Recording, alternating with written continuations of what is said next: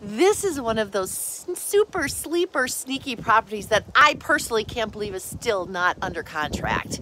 This great property priced at $229,000 gets you a couple of things every buyer I talk to wants. Water frontage, gorgeous sand water frontage out there, um, end of the road privacy, two bedrooms and one bath upstairs, a lower level walkout for more finished living space if you want it downstairs, a big detached garage for the toys, level approach to the water, which you can see right behind me.